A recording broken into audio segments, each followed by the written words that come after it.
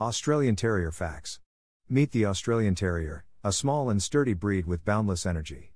Originating from down under, they're charming and affectionate.